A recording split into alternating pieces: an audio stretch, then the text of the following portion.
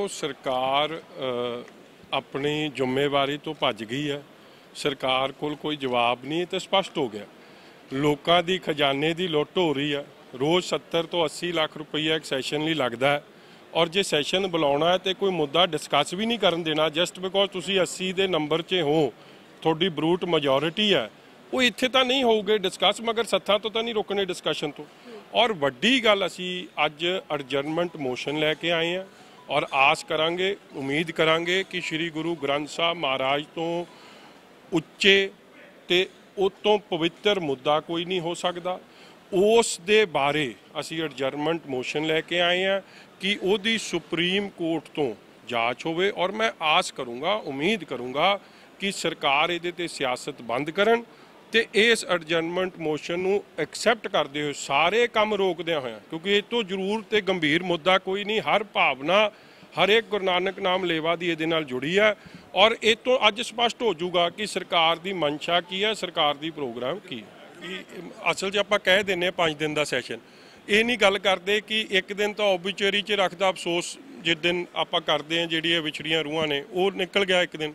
Saturday Sunday session ਹੀ ਨਹੀਂ ਬੁਲਾਉਂਦੇ, ਉਹ ਨਿਕਲ ਗਏ ਤੇ ਰਹਿ ਗਏ ਦੋ ਸਿਟਿੰਗਾਂ ਹੁਣ ਦੋ ਸਿਟਿੰਗਾਂ 'ਚ ਵੀ ਮੁੱਦੇ ਬੜੇ ਅਹਿਮ ਹੈ ਜਿਹੜੇ ਤੁਸੀਂ ਟੇਕ ਅਪ ਕੀਤੇ। ਸਭ ਤੋਂ ਪਹਿਲਾਂ ਸ੍ਰੀ ਗੁਰੂ ਗ੍ਰੰਥ ਸਾਹਿਬ ਮਹਾਰਾਜ, ਉਸ ਤੇ ਖੇਲੀ ਜਾ ਰਹੀ ਪੋਲਿਟਿਕਸ ਅੱਜ ਉਹਦੇ ਬਾਰੇ ਔਰ ਉਹ ਤੇ ਸਥਿਤੀ ਸਪਸ਼ਟ ਕਰਨ ਦਾ, ਕਿਉਂਕਿ ਜੋ ਸਰਕਾਰ ਦਾ ਫਲਿਪ ਫਲॉप ਹੈ, ਅਸੀਂ ਉਹਦੇ 'ਚ ਸਪਸ਼ਟ ਚਾਹੁੰਦੇ ਹਾਂ। ਔਰ ਮੈਂ ਇਸ ਦੇ ਬਾਰੇ ਬੜੇ ਵਿਸਥਾਰ ਨਾਲ ਇਹ ਤੋਂ ਬਾਅਦ ਗੱਲ ਕਰੂੰਗਾ, ਮਗਰ ਮੈਂ ਮੋਟਾ ਜਿਹਾ ਤੁਹਾਨੂੰ ਗੱਲ ਦੱਸ ਰਿਹਾ ਕਿ ਉਹ ਭਾਵੇਂ ਕਿਸਾਨੀ ਦੀ ਗੱਲ ਹੈ ਅਸੀਂ ਸਪੀਕਰ ਸਾਹਿਬ ਨੂੰ ਲਿਖ ਕੇ ਦੇ ਕੇ ਆਏ ਸੀ। ਕੱਲ ਮੈਂ ਤੁਹਾਡਾ ਇੰਟਰਵਿਊ ਵੀ ਵੇਖਿਆ। ਜਿੱਥੇ ਕੈਪਟਨ ਅਮਰਿੰਦਰ ਸਿੰਘ ਜੀ ਨੇ ਸਪਸ਼ਟ ਕਿਹਾ ਸੀਗਾ ਸੀ ਖੁਦਕੁਸ਼ੀ ਕਿਉਂ ਹੋ ਰਹੀ ਹੈ? ਆੜਤੀਏ ਦੇ ਕਰਜ਼ ਨਾਲ ਪ੍ਰਾਈਵੇਟ ਮਨੀ ਲੈਂਡਰ ਨਾਲ, ਜਾਂ ਜਿਹੜਾ ਉਹਨੇ ਦੂਜੇ ਇੰਸਟੀਟਿਊਸ਼ਨਸ ਤੋਂ ਲੋਨ ਲਿਆ ਕੋਆਪਰੇਟਿਵ ਤਾਂ ਰਿਕਵਰੀ ਨਹੀਂ ਕਰ ਰਿਹਾ ਸੀ। 1989 ਤੋਂ ਆਈ ਥਿੰਕ ਕਦੋਂ ਦੀ ਇਹ ਗੱਲ ਹੈ ਜਦੋਂ ਬਾਦਲ ਸਾਹਿਬ ਦੀ ਸਰਕਾਰ ਸੀ ਆਈ ਵੈਰੀ ਕਲੀਅਰਲੀ ਰਿਮੈਂਬਰ ਉਦੋਂ ਤੋਂ ਕੁਰਕੀ ਬੰਦ ਕਰਤੀ ਸੀ ਤਰੀਕੇ ਦੀ ਰਿਕਵਰੀ ਬੰਦ ਕਰਤੀ ਸੀ 85 ਦੀ ਰਿਕਵਰੀ ਬੰਦ ਸੀ ਉਦੋਂ। ਉਦੋਂ ਦੀ ਰਿਕਵਰੀ ਬੰਦ ਸੀ ਕੋਆਪਰੇਟਿਵ ਦੇ ਕਰਕੇ ਤਾਂ ਕੋਈ ਖੁਦਕੁਸ਼ੀ ਕਰ ਹੀ ਨਹੀਂ ਰਿਹਾ। ਉਹ ਜੋ ਜੁੜੇ ਦੂਜੇ ਹਾਲਾਤ ਬਣਾਏ ਜਾਂਦੇ ਨੇ ਪ੍ਰਾਈਵੇਟ ਮਨੀ ਲੈਂਡਰ ਪੰਗਾ ਸਾਰਾ ਉਹਦਾ ਉਸ ਨੂੰ ਐਡਰੈਸ ਨਹੀਂ ਕੀਤਾ, ਹੁਣ ਕਹਿੰਦੇ ਅਸੀਂ ਬੰਦ ਕਰਤੀ। ਤੇ ਫਿਰ ਤੁਸੀਂ ਝੂਠ ਕਿਉਂ ਬੋਲਿਆ? ਘਰ ਘਰ ਨੌਕਰੀ ਕਿੱਥੇ ਉਹ ਜਗਸੀਰ ਸੋਂ ਜਿਹੜਾ ਇੱਕ ਹੈਂਡੀਕੈਪ ਮੁੰਡਾ ਸੀ 60% ਉਹਦੇ ਹੈਂਡੀਕੈਪ ਸਨ। UGC cleared TET cleared NET cleared MA MPhil BEd ਕਿਹੜੀ ਹੋਰ ਕੁਆਲੀਫਿਕੇਸ਼ਨ ਉਹ ਲੈ ਆਉਂਦਾ ਵਿਚਾਰਾ ਦਲਤ ਭਰਾ ਭਰਾ ਦਾ ਮੁੰਡਾ? 60% ਉਹ ਡਿਸੇਬਿਲਿਟੀ ਸੀ, ਉਹਨੂੰ ਤੁਸੀਂ ਨੌਕਰੀ ਨਹੀਂ ਦਿੱਤੀ। ਇੱਥੇ ਕਹੀ ਜਾਣਗੇ, ਵੱਡੇ ਵੱਡੇ ਭਾਸ਼ਣ ਦੇਈ ਜਾਣਗੇ, ਜੇ ਕੋਈ ਰਿਕਾਰਡ ਮੰਗੋ ਰਿਕਾਰਡ ਦਿੰਦੇ ਨਹੀਂ। ਹਰ ਡਿਵੈਲਪਮੈਂਟ ਬੰਦ ਹੈ। ਫਿਰ ਇਹ ਕਹਿੰਦੇ ਜੀ 50000 ਕਰੋੜ ਨਿਵੇਸ਼ ਆ ਗਿਆ। ਦੱਸ ਦਿਓ ਕਿੱਥੇ ਆਇਆ। ਤੁਸੀਂ ਨਾ ਤਾਂ ਕੋਈ ਉਦਘਾਟਨ ਕੀਤਾ ਤੇ ਨਾ ਕੋਈ ਨੀਂਹ ਪੱਥਰ ਰੱਖਿਆ। ਆਇਆ ਕਿੱਥੇ? ਨੌਕਰੀ ਮਿਲੀ ਕਿਹਨੂੰ? ਦੱਸ ਦਿਓ ਉਹਦੀ ਵੀ ਨਹੀਂ ਬੇਰਵਾ ਦਿੰਦੇ। ਮੁੱਦੇ ਬਹੁਤ ਨੇ ਜੀ। ਐਸੀ ਸਕਾਲਰਸ਼ਿਪ ਦੇ ਮੁੱਦੇ ਨੇ ਸ਼ਗਨ ਸਕੀਮਾਂ ਦੇ ਮੁੱਦੇ ਨੇ 2.5 ਸਾਲ ਹੋ ਗਏ 51000 ਦੇ ਨਹੀਂ ਦਿੱਤੇ ਨੇ ਬੇਰੋਜ਼ਗਾਰੀ ਭੱਤਾ ਨਹੀਂ ਮਿਲ ਰਿਹਾ। ਡਰੱਗਸ ਦੀ ਡੈਥਸ ਹੋ ਗਈਆਂ। ਲਾਅ ਐਂਡ ਆਰਡਰ ਦੀ ਸਿਚੁਏਸ਼ਨ ਉਹ ਦੋਵੇਂ ਨੌਜਵਾਨ ਬੱਚੇ ਪਟਿਆਲੇ ਜ਼ਿਲ੍ਹੇ ਨਾਲ ਸੰਬੰਧਿਤ ਹਸ਼ਨ ਤੇ ਜਸ਼ਨ ਉਹਨਾਂ ਦੇ ਬਾਰੇ ਦੇਖੋ ਕਿਉਂ ਨਹੀਂ ਕੰਮ ਹੋਇਆ ਉਹਦੇ ਚ ਕਾਰਵਾਈ? ਕਿਸੇ ਕਿਸੇ ਨੇ ਇਸ ਗੱਲ ਦੀ ਘੋਖ ਹੀ ਨਹੀਂ ਕੀਤੀ ਕਿ ਜਿਹੜੇ ਐਸਐਚਓ ਸਾਹਿਬ ਉੱਥੇ ਲੱਗੇ ਆ ਉਹਨਾਂ ਨੂੰ ਤਾਂ ਕਾਂਗਰਸ ਲੀਡਰ ਦੀ ਸਿਆਸੀ ਸਰਪ੍ਰਸਤੀ, ਉਹਦਾ ਭਰਾ ਬਲਾਕ ਸੰਮਤੀ ਆ, ਬਲਾਕ ਦਾ ਇੱਕ ਕਾਂਗਰਸ ਦਾ ਸੀਨੀਅਰ ਆਗੂ ਆ। ਵਾਈਸ ਪ੍ਰਧਾਨ ਆ ਉਹਦਾ। ਤੇ ਉਹਨੂੰ ਪਹਿਲਾਂ ਹੀ ਪਤਾ ਸੀ, ਮੈਂ ਕਾਰਵਾਈ ਕਰਾਂ ਨਾ ਕਰਾਂ, ਮੈਨੂੰ ਤਾਂ ਕੋਈ ਹਿਲਾ ਨਹੀਂ ਸਕਦਾ। ਉਹਨਾਂ ਦੀ ਜਵਾਬ ਤਲਬ ਵੀ ਕਿਉਂ ਨਹੀਂ ਹੋਈ ਕਿ ਉਹ 12 ਘੰਟੇ ਕਿਉਂ ਸੁੱਤੇ ਰਹੇ? ਦੇਖੋ, ਅਸੀਂ, ਮੈਂ ਤਾਂ ਉਹਨਾਂ ਦੇ ਪਰਿਵਾਰਾਂ ਦੇ ਵੱਖ-ਵੱਖ ਥਾਵਾਂ ਤੇ ਜਾ ਵੀ ਰਿਹਾ। ਮੁੱਦੇ ਤਾਂ ਉਠਾਵਾਂਗੇ। ਸਰਕਾਰ ਉਠਾਣ ਦਵੇ, ਨਾ ਦਵੇ, ਸਰਕਾਰ ਬੌਲੀ ਹੋ ਜੇ, ਸਰਕਾਰ ਸੁਣਨਾ ਨਾ ਚਾਵੇ, ਉਹਨਾਂ ਦੀ ਠੀਕ ਹੈ, ਮਰਜ਼ੀ ਆ। ਮਗਰ ਮੁੱਦੇ ਤਾਂ ਨਹੀਂ ਹਟ ਜਾਣਗੇ, ਮੁੱਦੇ ਤਾਂ ਲੋਕਾਂ ਦੇ ਨੇ, ਲੋਕਾਂ ਦੇ ਮੁੱਦੇ ਸਦਾ ਜਿਉਂਦੇ ਰਹਿਣਗੇ, ਲੋਕੀ ਸਵਾਲ ਪੁੱਛਣਗੇ ਔਰ ਅੱਜ ਨਹੀਂ ਤੇ ਕੱਲ ਫਿਰ ਬਾਈ ਚ ਫਸਣਗੇ। ਇਸ ਲਈ ਇਹ ਬੜਾ ਸਪਸ਼ਟ ਹੈ ਕਿ ਜੋ ਕੁਝ ਹਾਲਾਤ ਪੰਜਾਬ ਦੇ ਬਣ ਰਹੇ ਆ, ਉਹਨਾਂ ਬਾਰੇ ਚਰਚਾ ਨਹੀਂ ਕਰਾਉਣੀ। ਤੁਸੀਂ ਚਰਚਾ ਕਰਾਓ, ਜੇ ਤੁਹਾਡੀ ਕੋਈ ਕਮੀ ਪੇਸ਼ੀ ਹੈ, ਸਰਕਾਰ ਕਵੇ ਹਾਂ ਕਿ we have failed here and ਹਲੇ ਵੀ ਕੋਰਸ ਕਰੈਕਸ਼ਨ ਕਰਨ, ਮਤਲਬ ਉਹ ਤਾਂ ਕਰਨੀ ਨਹੀਂ।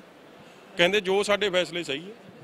ਦੇਖੋ, ਅਸੀਂ ਨਾ ਇਹੀ ਸਾਡੇ ਕੱਲ ਟੀਨੂ ਜੀ ਜਿਹੜੇ ਡਿਪਟੀ ਲੀਡਰ ਹੈ ਉਹਨਾਂ ਨੇ ਬੜਾ ਇਸ ਗੱਲ ਤੇ ਉਹ ਚਿੰਤਾ ਵੀ ਜਤਾਈ ਕਿ ਮੈਂ ਵੀ ਸੇਮ ਕੁਐਸਚਨ ਲਾਇਆ ਸੀ। ਔਰ ਮੈਨੂੰ ਕਹਿਤਾ, ਜੀ, ਤੁਸੀਂ ਟਾਈਮ ਤੇ ਨਹੀਂ ਲਾਇਆ। ਤੇ ਜੇ ਤੁਸੀਂ ਇਹ ਲਾ ਰਹੇ ਸੀ, ਤਾਂ ਸਾਡੇ ਬੰਦੇ ਦਾ ਵੀ ਲੱਗ ਲੈਣ ਦਿੰਦੇ ਕਿਉਂ? ਹਰ ਗੱਲ ਤੇ ਰਾਜਨੀਤੀ ਕਿਉਂ? ਤੁਸੀਂ ਹੈਰਾਨ ਹੋਵੋਗੇ, ਜੀ, ਅਸੀਂ ਸਵਾ ਸੌ ਤੋਂ 150 ਕੁਐਸਚਨ ਗਿਆ ਕਾਲ ਟੈਨਸ਼ਨ ਗਈ ਹੈ ਸਾਡੀ ਇੱਕ ਨਹੀਂ ਲੱਗੀ ਜੀ ਅੱਜ ਕਾਲ ਟੈਨਸ਼ਨ ਕਿਹਦੇ ਨਾਲ ਰਲ ਮਿਲ ਕੇ ਖੇਡ ਰਹੇ? ਆਪ ਨਾਲ? ਇਹ ਤਾਂ ਹੈ ਹੀ ਇਹਨਾਂ ਦੇ। ਕੀ ਉਹਨੂੰ ਤੁਸੀਂ ਆਪੋਜੀਸ਼ਨ ਸਮਝਦੇ ਹੋ? ਜਿਨ੍ਹਾਂ ਨੂੰ ਰਿਟਰਨ ਫਾਰਮੈਟ ਆਉਂਦਾ, ਅੱਜ ਲੀਡਰ ਆਫ ਆਪੋਜੀਸ਼ਨ ਨੂੰ ਹਰਪਾਲ ਚੀਮੇ ਨੂੰ ਕਿਹਾ ਜਾਂਦਾ ਕਿ ਤੂੰ ਅੱਜ ਇਹ ਗੱਲ ਕਰੇਗਾ, ਨਹੀਂ ਤਾਂ ਤੂੰ ਕੁਰਸੀ ਤੇ ਨਹੀਂ ਬਹਿ ਸਕਦਾ। ਉਹ ਤਾਂ ਆਪ ਦੀ ਲੀਡਰ ਆਫ ਆਪੋਜੀਸ਼ਨ ਦੀ ਕੁਰਸੀ ਕਰਕੇ ਫਿਕਸਡ ਮੈਚ ਖੇਡੀ ਜਾ ਰਹੇ। ਸਾਰੇ ਸਿਸਟਮ ਦਾ ਤੈਸ਼ਨੇਸ਼ ਕਰਤਾ ਹੈ। ਕਨਸਟੀਟਿਊਸ਼ਨਲ ਜਿਹੜੀ ਇੱਕ ਪ੍ਰੋਵੀਜ਼ਨ ਹੈ ਕਨਸਟੀਟਿਊਸ਼ਨ ਦੇ ਜਿਹੜੇ ਬੇਸਿਕ ਪ੍ਰਿੰਸੀਪਲਸ ਨੇ, ਉਹਨੂੰ ਕਿਵੇਂ ਤੈਸ਼ਨੇਸ਼ ਕੀਤਾ ਜਾ ਰਿਹਾ? ਕੈਨ ਯੂ ਇਮੇਜਿਨ ਕਿ ਕਿਉਂ ਨਹੀਂ ਜਿਸ ਬੰਦੇ ਦੀ ਅਸਤੀਫਾ, ਜਿਹਨੂੰ ਜੁਆਇਨ ਹੀ ਸਪੀਕਰ ਸਾਹਿਬ ਦੀ ਹਾਜ਼ਰੀ 'ਚ ਹੋ ਗਿਆ ਕਾਂਗਰਸ ਨੂੰ, ਰੋਪੜ ਵਾਲਾ ਐਮਐਲਏ ਸੰਦੋਆ ਸਾਹਿਬ। ਉੱਚ ਕੀ ਰਹਿ ਗਿਆ ਸੀ? ਜਾਂ ਦੂਜਾ ਜਿਹੜਾ ਮਾਨਸ਼ਾਹੀ ਆ, ਉਹ ਹਲੇ ਵੀ ਮਗਰ ਬੈਠੇ ਆ। ਕੀ ਤਜੀਆਂ ਉਡਾਈਆਂ ਜਾ ਰਹੀਆਂ ਤੁਸੀਂ ਕਨਸਟੀਟਿਊਸ਼ਨ ਦੀਆਂ? ਨਹੀਂ, ਅਸੀਂ ਤਾਂ ਜੀ ਬੜੇ ਸਪਸ਼ਟ ਸੀ। ਸਾਨੂੰ ਬੜੇ ਲੋਕਾਂ ਨੇ ਕਿਹਾ ਕਿ ਤੁਸੀਂ ਕੋਰਟ ਕਿਉਂ ਨਹੀਂ ਜਾਂਦੇ? ਅਸੀਂ ਇਹਨਾਂ ਨੂੰ ਐਕਸਪੋਜ਼ ਕਰਨਾ ਚਾਹੁੰਦੇ ਸੀ। ਕਿ ਜਿਹੜੀ ਰਲ ਮਿਲ ਕੇ ਮੈਚ ਫਿਕਸ ਚੱਲ ਰਿਹਾ, ਉਹਨੂੰ ਐਕਸਪੋਜ਼ ਕਰਨਾ ਚਾਹੁੰਦੇ ਸੀ। ਫੁਲਕਾ ਸਾਹਿਬ ਨੂੰ ਵੀ ਹੁਣ ਚੇਤੇ ਆਇਆ। ਹੁਣ ਕੋਈ ਫੈਸਲਾ ਹੋ ਗਿਆ ਉਹਨਾਂ ਅੰਦਰਲਾ। ਨਹੀਂ ਤਾਂ ਆ ਜਾਂਦੇ ਸੀ, ਸਵਾਲ ਪੁੱਛਦੇ ਸੀ, ਬਾਹਰ ਚਲੇ ਜਾਂਦੇ ਸੀ, ਮੈਂ ਅਸਤੀਫਾ ਦੇ ਦਿੱਤਾ। ਬਹੁਤ- ਕੀ ਮਜ਼ਾਕ ਬਣਾਇਆ। ਦੇਖੋ 10th ਸ਼ਡਿਊਲ ਕਨਸਟੀਟਿਊਸ਼ਨ ਦਾ ਬੜਾ ਕਲੀਅਰ ਹੈ। ਹੁਣ ਮੈਂ ਸਪੀਕਰ ਸਾਹਿਬ ਨੂੰ ਜਾਂ ਕਿਸੇ ਸੀਨੀਅਰ ਮੈਂਬਰ ਨੂੰ ਕਹਾਂ ਕਿ ਤੁਸੀਂ ਕਨਸਟੀਟਿਊਸ਼ਨ ਪੜ੍ਹ ਲਓ। ਤੁਸੀਂ ਕਨਸਟੀਟਿਊਸ਼ਨ ਦੇ ਰਖਵਾਲੇ ਹੋ, ਤੁਸੀਂ ਤਾਂ ਉਹਨੂੰ ਨਹੀਂ ਪ੍ਰੋਟੈਕਟ ਕਰ ਰਹੇ। ਤੁਸੀਂ ਪੀਪਲਸ ਰਿਪਰੈਜ਼ੈਂਟੇਟਿਵ ਐਕਟ ਜਿਹੜਾ ਲੋਕਾਂ ਦਾ ਮਜ਼ਾਕ ਬਣਾਇਆ ਪਿਆ। ਲੋਕਾਂ, ਇਹਨਾਂ ਨੂੰ ਪੈਸੇ ਕਿਉਂ ਜਾ ਰਹੇ ਜੀ? ਤਨਖਾਹਾਂ ਕਿਉਂ ਮਿਲ ਰਹੀਆਂ? ਇਹਨਾਂ ਨੂੰ ਗਨਮੈਨ ਕਿਉਂ ਮਿਲ ਲੋਕਾਂ ਦੇ ਖਜ਼ਾਨੇ ਚੋਂ ਜਾ ਰਹੀ ਹੈ ਲੋਕਾਂ ਦੇ ਖਜ਼ਾਨੇ ਦੀ ਲੁੱਟ।